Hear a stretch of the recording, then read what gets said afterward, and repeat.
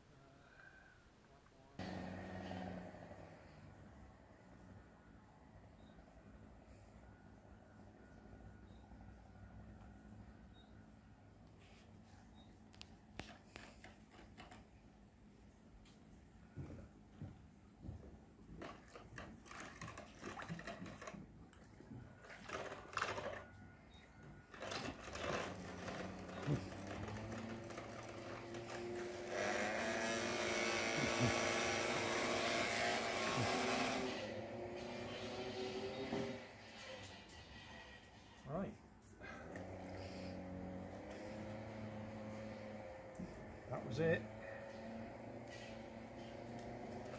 Thanks for watching. If you want more information, check down below in the video description. If you like this video, you might like this one up here.